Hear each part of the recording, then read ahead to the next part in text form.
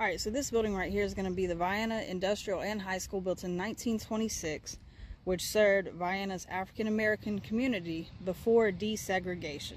All right, so the building right in front of me was a shop building that was used for vocational purposes. And then attached to it was the food processing and canning plant. So that's pretty neat right there.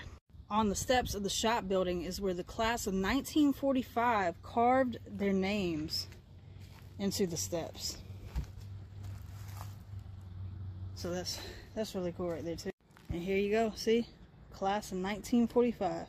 Now this abandoned school is the Vienna School, which was built in 1934, as you can see it up at the top, but was later renamed the Jenkins School after a superintendent that helped make this building possible. Now, it is privately owned. I can't get in there. It's locked all the way around.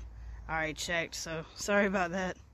This building right here was the Prince of Peace Episcopal Church, which later was restored and now is the Vienna Cultural Center.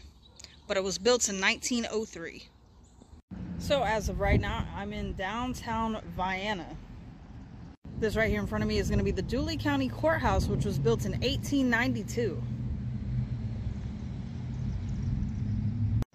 From here we have the post office and one side of downtown. We also got another side of downtown. And look at that really cool drugstore on the end right there, that Forbes drugstore. So we also have another little side of downtown right here. And look at that really cool mural on the side of those buildings. And then it goes down this way. This right here is going to be the town square.